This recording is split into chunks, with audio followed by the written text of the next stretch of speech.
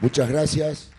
Pero lo que me trae hoy por aquí es que a dos semanas de que el pueblo argentino decida, y como lo hacemos habitualmente con cada sector de la producción y del trabajo, yo quiero garantizarles a todo el sector del turismo que van a tener en mí un presidente del desarrollo del turismo, no como una actividad más, sino como una actividad estratégica, para seguir incrementando su participación en el Producto Bruto de Argentina, para seguir generando ingresos de divisas y fundamentalmente a partir de una política de fin de semana largo que ha puesto en marcha nuestra Presidenta y la recuperación de aerolíneas argentinas, con todo esto lo que va generando en cada una de las economías regionales.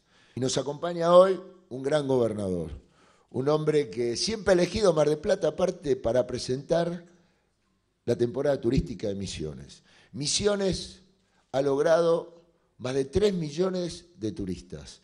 Es la actividad que más puestos de trabajo ha generado.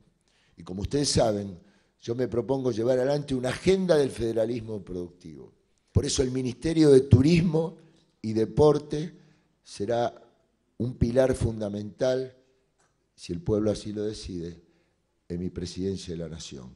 Y yo le he confiado a un hombre como Maurice Clos y él ha aceptado para ser próximo ministro de Turismo y Deporte.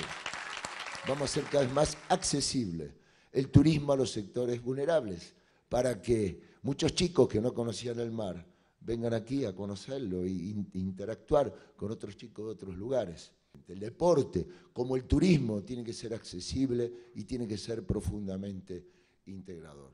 Sobre estos programas estratégicos que están en marcha, vamos a garantizar su continuidad y por otra parte vamos a ponerle mucho esfuerzo a todo el desarrollo del potencial de un país único como la República Argentina para atraer cada vez más turistas y que esto genere un pilar fundamental en el próximo capítulo de este proyecto, que es la gran agenda del desarrollo argentino. Y les agradezco nuevamente que nos estén acompañando.